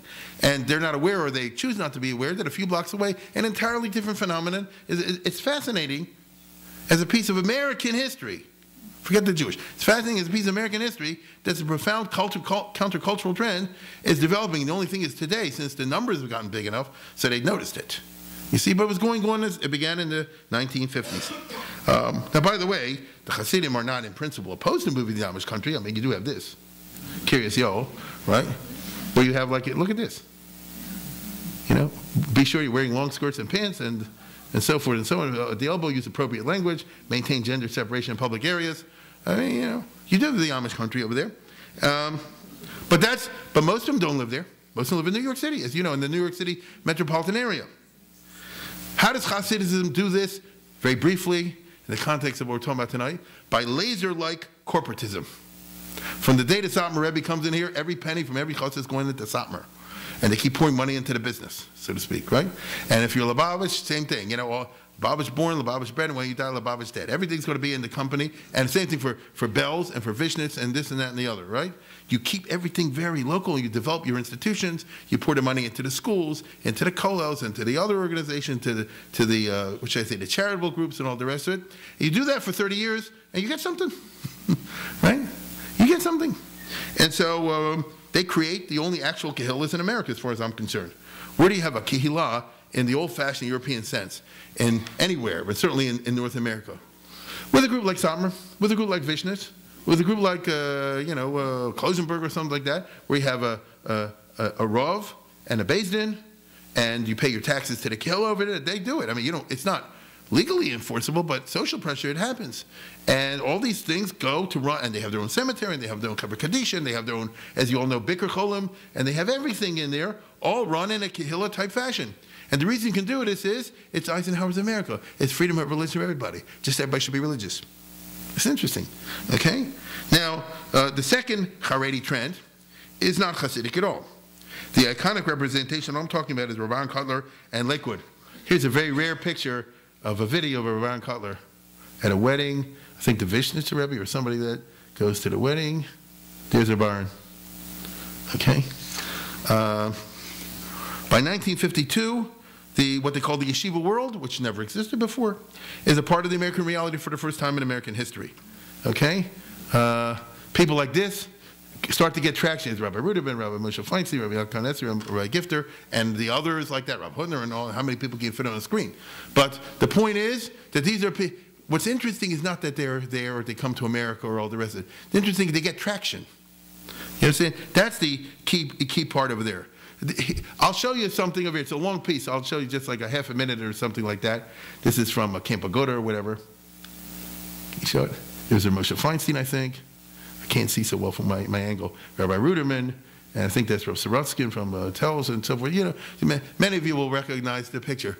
What did the Marshall Sklares fail, fail to notice in this uh, uh, video and these sorts of scenes? They say, here's a bunch of old guys that don't talk English and are really uh, out of it and all the rest of it. Uh, so what are all the kids there? right? You don't usually see people in the 60s and 70s surrounded by kids. They didn't see that, right? They, they focus on the old part, right? What is Camp Aguda? You know, what are the other what, what are young people doing wanting to spend time around people in their 60s and 70s? You don't find that in America. And later on when they hit their 80s and 90s, right? What is it? That's a question they didn't ask themselves because they didn't get it. Because if you're, you're out of the loop culturally, you just don't get it. And so um, the result is that there occurs over here, starting in the early 50s, late 40s, early 50s, a, a really countercultural revolution among American Jews, or, or, or, a tiny segment at least, of American Jewry, um, which in the Brandeis way offers different uh, possibilities. There's Rabbi Kotler and the rejection of college, because Lakewood became synonymous, especially in the 50s and afterwards, with the idea, oh, it's very bad to go to college. Don't do that. Just sit and learn, and, and, and afterwards you do something else. Either become a rabbi, become a rabbi, or this, or go get a job. College is bad news. Which is treason to Eisenhower's America. You know, in, in America, you go to college. That's how Jews get ahead. The immigrants got off the boat. They had to work in the sweatshop. They put their kids through city college. The kids moved over here. Next generation become doctors. And then their generation comes even better. It doesn't get it. And here somebody says the, the whole model of college and everything associated with it is one that should be rejected. And that appeals to many. Then on the other hand, if you wish to, you can get the opposite if you want. You can get Rabbi Soloveitchik who embraces college. So you, you can have either way. Rabbi Soloveitchik is a great gaon. You don't need me to tell you that. And he's obviously the head of Yeshiva University, right? And besides fact he himself has a college degree and everything associated. So if you like the idea of rejecting college, you got where to go. If you like the idea of embracing college, you got to go. And if you're in the middle, you got this. in Baltimore, we call it Ner Israel. What's the story with college? Well, you know, it's not good. Like, eh, man, you know, you can go, but then whatever. Daf Machan 11, you know, all the rest of it, but it shouldn't be a ikr. Yeah, however you want to say. Don't you understand? This Brandeis would, Brandeis would applaud. Because what you're doing is you're letting a thousand flowers bloom and see which one takes off. And, it, and some models will work for some, and some models will work for others. And the result is you get ultimately the most efficient production system in which you'll get this type, you get this type, you get that type. Everybody has a way to do it, and at the same time embracing Haredi Judaism, right? Or Torah Judaism. Uh, historically speaking, these people are successful. Right? People around Kotler, Ruderman, all the rest of it, they're successful because they realize uh, that it's all about education. Don't worry about anything else. You concentrate on education. I know. Anybody know the Greek? The fox knows many things, hedgehog knows the others, Poile alapex, the kinos and mega, pain mega, the one big thing, right?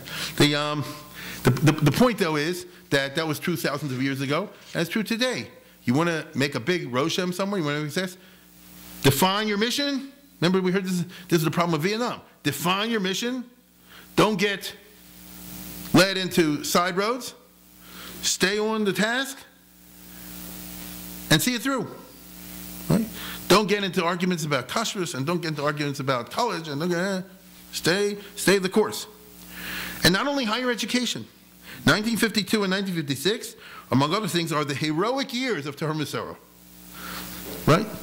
Anybody remember Rabbi Kamenetsky, Dr. Joe Kamenetsky? If you had anything to do with schools across the United States, including Baltimore, but particularly if you're out of town, uh, what do I say heroic years? Him and his colleagues they set up the Torah Umesorah uh, um, uh, organization. They went across the state to state and they went from town to town. If you want the late 40s and throughout the 50s and early 60s, they're having meetings in this town, in Buffalo and in Minneapolis and then San Francisco and in Seattle and in Tucson and Topeka and Houston and you know just go go, go down the names and you, next week you come back for the second meeting in Winnipeg and then you have the meeting in Florida and all the rest of it. It's it's it's uh, uh, uh let's put it this rigorous work. It's exhausting work, but you get payers because you're surprised. You go to Memphis, you say Memphis, Tennessee is never going to. Not true. You go to Atlanta, nothing's going to happen in a place like that. Not true. You go across the country, right? I mean, I know I see people in the audience that were part of what I'm talking about, and uh, it's a revolution. So by the time they're finished, you have 90,000 Jewish kids in day schools. Uh, out of a Jewish population of 5 million or a little more than 5 million, 90,000 is not big, but it's not tiny either. It's not 9,000. You see? And this cannot help but create, in the long term, a demographic revolution. You see? Now, I want to be very clear over here. Of the 90,000, it's probably more likely that 9,000 will end up in yeshivas and high schools. Let's not fool ourselves. Just because someone goes to a day school in, you know, here and there and uh, elsewhere, especially when the school's up to the sixth grade or something like that, and afterwards they're going to public school, it's pretty much a bracha Torah. But 10% or 20% will, will not be. And that 20% will eventually have another 10 and 20%, you know, with, with their kids. And like I say, the hedgehog knows one great thing. Okay? I mean, he's a perfect example. What, what did he do with his whole life? One great object. Right? You don't get involved in politics about Israel. You don't get involved about the OU. You don't get involved all the rest of it. The only thing you care about is the school in Scranton. Right? The school in, in Canton. right? The school, you know, in Louisville, if they and we'll try again to make one. The school in Phoenix. The school in Seattle. Which is another thing. The other movements didn't do this. So it's like the tortoise and the hare.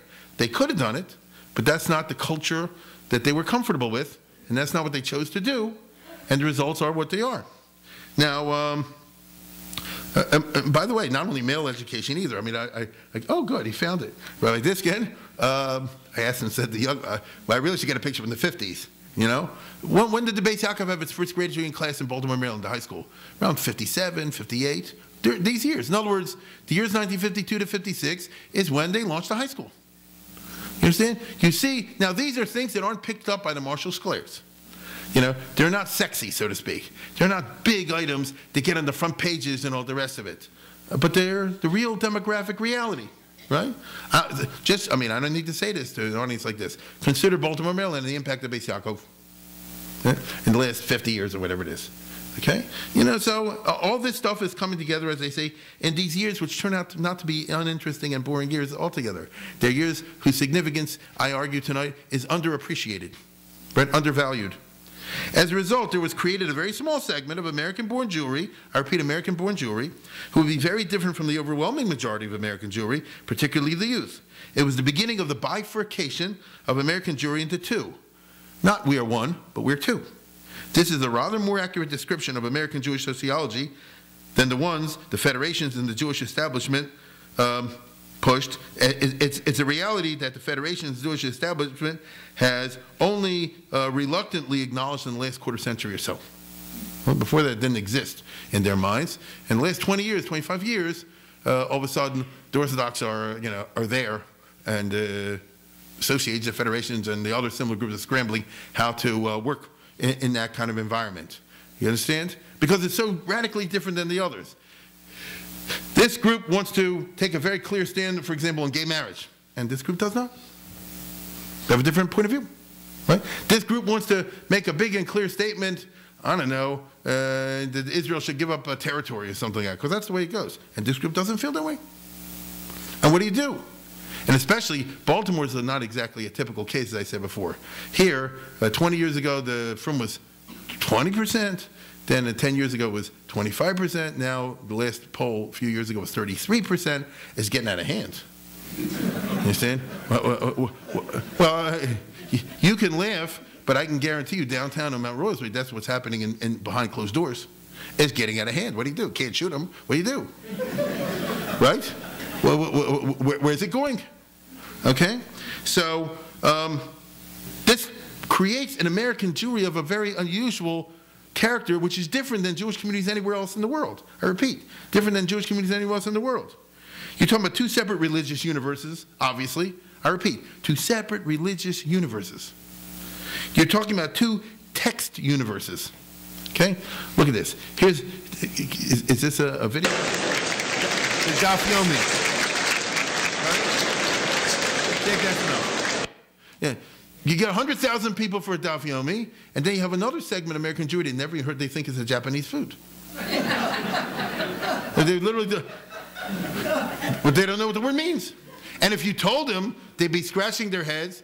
So people read this stuff, And second of all, 100,000 100,000 people go together in Meadowlands to celebrate the young people. You know, like what, what, they don't get it. You see, it's, it's two text universes. The other guys are reading different books. Even those who are interested in Jewish culture are reading different Jewish books. Very, I mean, Halavai, that's decreasing also. But, uh, you know, they're reading Achleis Philip Roth or something like that, right? The Daf Yomi, I said before, it's a Japanese food. The, um, it's two social universes. And so, for example, in Baltimore, Maryland, there's a whole social life, uh, of which this is a tiny segment, which affects, this is sad, but it's true, uh, which affects one segment of the community. They go to the same, uh, you know, uh, social events and uh, wedding events and uh, the speeches and this, that, and the other. And then the other segment of the community goes to their set. Just the two never come together. You can't find, as far as I can think, any kind of activity which brings significant members of both communities to the same activity. And that's true, and that's true, uh, she says, Bet. How have I? I tried to do Bet. We didn't get, to a, a tiny degree, I mean, it, yes, to a tiny degree, yes, but uh, only to a very tiny degree.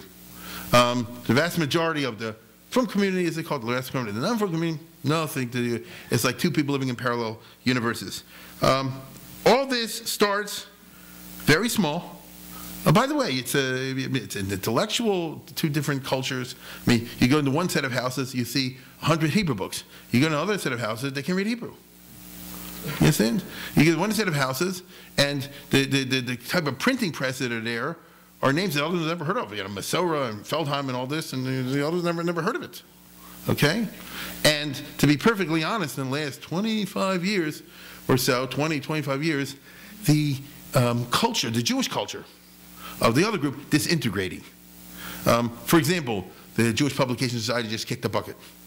For example, yeah, the, for example, uh, the Baltimore Hebrew College has literally been turned by the Associated into a parking lot.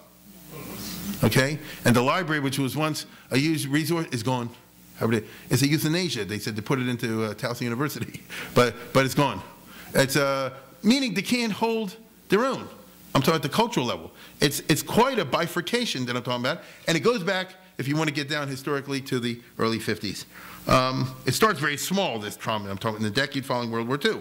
Within Orthodoxy, the years 52 to 56 see the crystallization of a complete shift in, in gravity and authority from the rabbinate to the Rosh Yeshivas for the first time ever. Okay? And so uh, power goes to people like this, and it goes away from a very young Rabbi Lamm and Emanuel Rackman, who years before would have been the big machers and the spokesman and the talkers for the totality of American Orthodox Judaism, and would have been the official spokesman. But rabbis go into deep uh, delegitimation in, starting in the 50s. It- Maybe you know this, maybe you don't know this. The feeling among the increasing numbers of the young, the ones who are Shomer Shabbos and care, is that the only real Orthodox Judaism is in the yeshivas. The rabbis are sellouts. Because look at the shul. They don't a small mechitza, everybody drives, nobody really keeps anything. The rabbi can't, can't make him do anything. He's barely uh, holding on. He has to uh, violate uh, this law and that law in order to keep his job, all the rest of it. It's a sellout. You, you alienate, you keep the middle demographic, but the religious kids, with the youth of the future, uh, Ew, who wants to get smicha and become a synagogue rabbi and deal with a lousy balabatim? This is the universal attitude of the yeshivas in the 1950s and 60s and even in the 70s. So people who are old enough will remember, will, will know what I'm talking about. You know, if somebody gets a smicha, it's just a purely academic sort of thing. Um, better go be an accountant. Go become a lawyer. Or if you want to go into something real, go into chinuch or whatever. Why would you want to get involved in a modern Orthodox synagogue where nobody's ever going to listen to you? You could be looked upon weird, but the fact that you ask them to keep Shabbos or tell them not to drive, or uh, that, that, that you ask somebody not to turn on the lights, they think you're crazy. Why do you want to spend your life doing that? You understand? So you see, within the Orthodoxy, it's a, it's a break, it's a bifurcation. Even the knowledgeable rabbis, starting in the 50s, are now viewed as unreliable and anemic sellouts whose rulings are not sound and reliable, even though they could be big scholars. Best example I'm talking about, look at Rabbi Polakov and Rabbi Simcha Levy. These were big, I know Rabbi Polakov is from Baltimore, I have relatives here and all the rest of it. These were big machers in the early 50s in the RCA, Rabbinical Council of America, which was the YU organization. I'm sure many of you, perhaps hopefully everybody here has heard of the Rabbinical Council of America. In the early 1950s, they had a halacha commission. Rabbi Simcha Levy was the uh, main guy in the from Perth Amboy. He was there for 30, 40 years. He's a big Talmud Chacham. He has a sefer of Shalos and Shubs, all the rest of it. They came out, I mean, this would be very interesting for the shul that I'm in at this very moment. You'll appreciate this. They came out in 1951 that the microphone is fine. Okay? Um, and they can prove it. They have all the halachic sources, all the rest of it. Moshe Feinstein said it's not. That's it. Because the young people's like this. These rabbis aren't real rabbis. Yeah, they're rabbis of shuls in which people aren't religious and this and yeah. That's, that's got nothing to do objectively with their level of scholarship. I mean, Rabbi Polakov, for example, was nine years in Telz. I'm not talking about Cleveland, I'm talking about Telz. okay? And Rabbi Levy also went, was, in, was in Poland and Eastern Europe and big yeshivas under Yosef Engel before he came to YU and graduated in 1921. Doesn't matter. Not to the young. You see? And therefore, if he said the microphone is Machal Shabbos, that's the end of it. There are people who are old enough to remember that there were big fights all through the 1950s and 60s in all the Orthodox precisely over the question of microphone. When I was a kid, every shul outside the Glen Avenue shul, every shul had a mic, right? And nobody knew exactly why, because not everybody remembered, you know, this sort of thing that I just described over here, and that the RC Halacha Commission one time pointed is, is good. Uh, it wouldn't have mattered. And you can show them, Rabbi Polakov wrote years and years, I'm sure some people know this, used to write in the Noam and the Tradition magazine others, making the case that, where, tell me what I'm doing, what I'm saying wrong, all the rest of it. He didn't get any uh, attention even. It's irrelevant because it's the culture that I'm talking about over here. And the culture is the Rosh Yeshivas know, the others don't know. And the proof is, go in the four walls of the yeshiva, you see Judaism fully practiced. Go in the synagogues of all these rabbis, you see Judaism not practiced. So why should I be interested in their opinion? That's the, what the young people are saying. And this is a powerful sociological trend that starts in the early 50s and goes over there. All those unread sfarim of old rabbis gathering dust in the Hebrew College Library of my youth. You know, this big rabbi from St. Louis and that rabbi from Omaha and this rabbi from over here. Books of great scholarship, perhaps, nobody's interested in them because their own uh, generation, you know, the middle demographic can't read Hebrew. And the boys in the yeshiva are interested in the, the Rosh books. They're not interested in books of these guys, because after all, who's interested in what some rabbi in Toronto said over here when we know his own kids weren't religious and his own shul had people driving and this and that and the other? That's the attitude, right? So it has nothing to do with the pure intellectualism of it, with the how shall I say, the legalistic strength of the arguments, all the rest of it, it's got to do with what I'm talking about over here. Even the, um, it, it, I'm really describing the sociology of halachic charisma. True? The sociology of halachic charisma. The um, fact of the matter is that uh, even the Agudas Rabbanim, which is the famous organization of all the old white-bearded Yiddish-speaking rabbis from Europe, begins its descent into absolute irrelevance during this period. The only group to whom they would possibly be relevant, after all, is the yeshiva students and graduates. And those guys are only interested in what Baron Kotler and the other Rosh Yeshivas have to say. And so famous names from the past are unknown today. You've heard of Rabbi Lezer Silver because he was a character. The second brother wrote a book about him. Okay, so uh, in this public, maybe you, maybe you've heard about him. Uh, saw Rosenberg when Rabbi Weinberg and the Rizzo got married. Who's the Masada We saw Rosenberg. Why? They had go to Trumbull those are prestigious. Nobody's even heard of him. But Rabbi Konvitz, and maybe people heard of his son, the law professor, Rabbi Yosef Konvitz, was the son of the son of the Ridvaz, a big Talmud Chacham, the rabbi of uh, Newark. Uh, what's Newark? Today you call West Orange. He said, but you know, it's uh, you get it. Nobody cared anymore. The non-religious or non-yeshiva guys couldn't read and didn't care anyway. And the young public isn't interested in what they have to say. They're interested in what the yeshivas have to say. Um, as a result, most of Orthodox Judaism, all of it actually, goes to the right. The iconic representation on about is the 1956 ban on joining mixed um, organizations issued by the Rosh Yeshivas. I'm sure many know that in 1956, Ron Kotler and a whole bunch of other people, I'll explain in a minute, came out and they said this it's assur to belong to any kind of organization if, if, if, which involves non-Orthodox. Okay?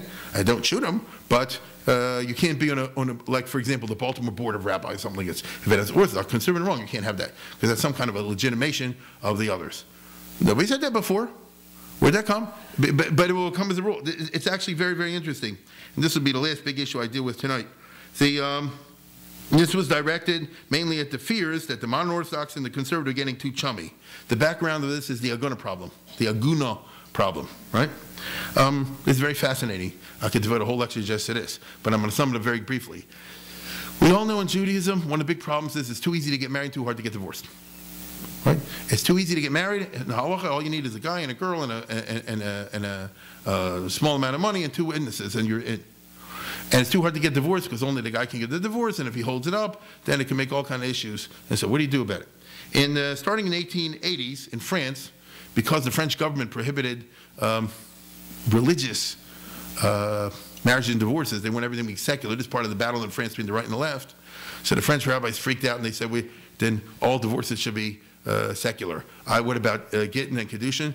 Write a Tanai in at the time of the Kedushin that if the French state says it's no good, then whatever, halachically, however it works, it should be uh, considered canceled. Um, the, the French rabbis were not Talmid Chacham at all; they're big Amoratzim, but they wanted to, you know, get along with the French uh, culture. Let's put it that way. However, this is the old world. This is the world before bifurcation kicked in, and at that time in 1886, so uh, people complained about it, and the chief rabbi of France, uh, yeah, this guy, uh, Kahn, who was uh, close with Theodor Herzl actually, chief rabbi of France said like this: Look, I don't know. I'm going to write to the big rabbi, the Kovner of Basic Inspector in those days, you still had a traditionalist world in, in, which people, even if they're not particularly observant all the rest of it, but at a certain derech eretz, there's a kind of authority that doesn't exist today, where people who are not religious, shall put it that way, but when it comes to Jewish matters, you know, he's the one to, to, to, turn to because he was, he, although nobody really knew him very well, but somehow or other he had a magnetic reputation, and people said, he's like a bar. He's, if he says it, that's it. And the Kovner Rav wrote them a very diplomatic letter because that's who he was, and he said this is not a good idea. And so they, it, it, it, didn't happen. In um, this happened in 1886, 1993. In, in France in 1907 and in Istanbul in 1924, there were attempts to redo this. At that time, the Kovner was dead, or instead you had uh, the famous Rebbe Chaim Grodzinski, who did not have that kind of authority at all. Chaim Ozer is more associated with the Aguda types. Already there was Aguda versus the Mizrahi, and his own community didn't vote him in as the chief rabbi of Vilna. So it was a different sort of thing. And so now you have somebody who has tremendous power among the Rabbonim, but not among the, the, the, the masses, as it were. Uh, and uh, what happened was that he, or, he got together all the rabbis in the world from Germany and from France and from uh, Russia and you know, whatever it was, and they put out a thing called Ein Tanai Ben that this uh, proposal is not flyable according to halacha and it didn't happen again. Okay?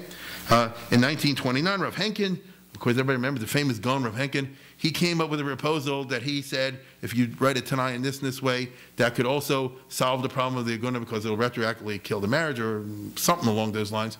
And, uh, and, and Rav Chaim Eisenhower said, don't, don't do that. He said, I, I, I withdraw. He said, "I'm just want to. If you think it's not a good idea, Hadri be. He said, forget it. Okay? And so this was obviously in the water. In 1935, Louis Epstein, a very famous uh, uh, conservative rabbi who had been in Slobodka. this is when you had rabbis who, who, who, emigrated to America and went to the JTS after they had been in yeshiva in Lithuania. So Epstein came up with what's called the Epstein proposal, in which the husband, under the Kedusha, if I remember correctly, appoints the wife as a shliach to do the get if it ever happens, and that way you don't need his consent. It's very complicated. When I say it's complicated, I, I genuinely mean the halachas of it are complicated. I can't go through it over here. And once again, oh my goodness, all hell broke loose. Chaim Grodzinski was still alive. The Agudas Rabbanim, Rabbi Konvitz declared war, and it didn't happen. Okay? It was big fights. But I'm still speaking about a traditional world when people, which A, cares about what B says. And uh, in 1952 to 56, these are the years of the Lieberman proposal, when the famous uh, conservative uh, scholar, he wasn't exactly conservative, Saul Lieberman, who was a big professor in the Jewish Theological Seminary, who was a much firmer guy than the people we said before, um, he came up with this idea also to, to that um, when they get when, when everybody gets married, you should say that if there are any issues, you submit it to such and such a Beis Din, conservative Beis Din, and they will be able to um, uh, penalize legally the husband if he doesn't give the get, you know, something along those lines. And at that time, Rabbi Soloveitchik and him were personal friends. And uh, I'll say it again, Rabbi Soloveitchik and him were personal friends, even though they didn't agree on the conservative ideology. Believe me, in the 50s, that's when Rabbi Soloveitchik was the lion against conservative. He said that maybe some people are old enough to remember, he used to take out an ad in the papers every year, Rabbi Soloveitchik, to say like this, and this is important in Eastern European Jewish culture.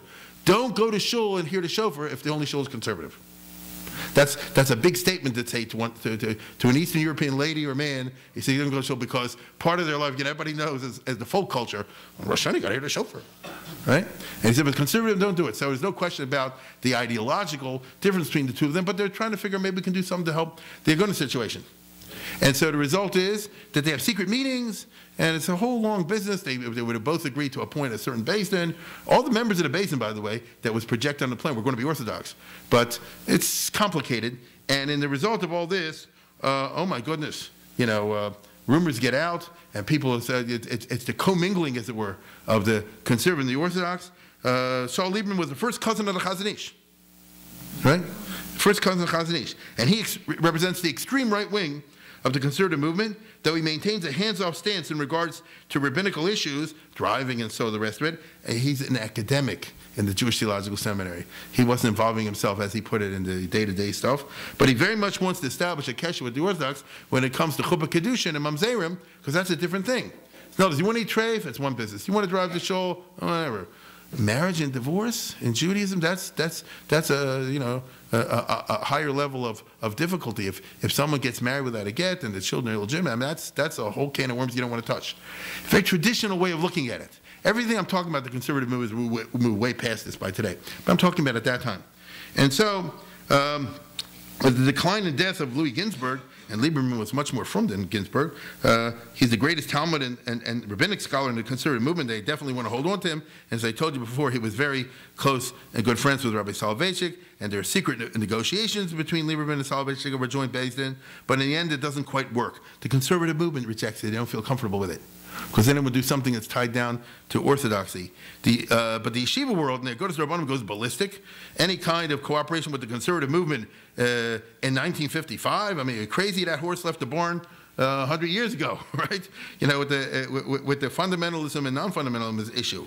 On the other hand, there's another part, there's the other part of orthodoxy, the modern Orthodox, the YU world, which by this time has crystallized into the RCA, and Rabbi Soloveitchik is the posik in the middle of the 1950s.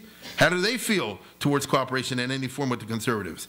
There is most definitely a left wing in the RCA, which wants to maintain whatever bonds are possible with the conservative movement for a variety of reasons. That would especially be Rabbi Rackman and Lookstein. They just, they're still grounded in the idea that conservatives just a little, they're going a little bit too far, but one day we can bring them back in. That's one group. On the other hand, there's a right wing in the RCA who wants to go in the opposite direction. In 1954, the leading right winger in the RCA is elected as president of the RCA, uh, famous Rabbi D David Hollander. Some people remember him from the past. He was a big rabbi in, in New York. Um, and uh, Rabbi Hollander, who happens to be the brother-in-law of Moshe Sher, by the way, for the Aguda, deplores the left-wing trend and the secret negotiations with Lieberman, and in general, Conservative Judaism should be exposed for what it is. That's his point of view. Hollander and Rabbi Pelcovitz from the Igud, uh, solicitor Byron Kotler to come out, he and his colleagues, uh, against any kind of a cooperation with the conservative reform, and the Rosh Yeshivas do this in 1956. And you can say we've been asked by a number of rabbis and alumni about New York Board of Rabbis, similar groups, come reform with rabbi, having gathered together, we say no. I mean, that's, uh, that's what the words boil down to. Now, they have no authority. Uh, who appointed them? They're just a bunch of Rosh They got the traction. So I just explained to you, the, the young are going to listen to them, right? This is the way it's supposed to go. Rabbi Soloveitchik did not go along with this. That doesn't matter. You know, Rabbi Soloveitchik a little bit too much college. Uh, it's, it's, uh, no, uh, you see how the culture develops. Um, let me put it this way: the RCA didn't go along with him. Um, there's Rabbi David Lipschitz, Rabbi Soloveitchik. Rabbi Soloveitchik said. Uh, I don't hold by this, but David Lipschitz voted for it. He was one of the people who signed the 1956 ban. Same with the ranks of the RCNYU, there's a split, as you see. The left and the OU don't listen. Those are old enough to remember that every time they had OU convention, in my memory, in Baltimore, Maryland, Robert Ruderman couldn't go and speak to them. Remember because he said they're not listening to the Psaka, the Rosh Yeshivas in 1956 to separate from the other organizations because they're members of joint organizations. In general, the trend, the direction of American Orthodoxy is clear, it's to the right. At the same time, the direction of non-Orthodox is to the left. And so, in conclusion, by 1956, the central cultural trend of our lives, the central cultural trend of American Jewry, the simultaneous and contemporary development of two segments of American Jewry in opposite directions, the tale of two cities, is a trend which crystallizes in the year 1952-56, I would argue, and which, as we have all experienced, has played out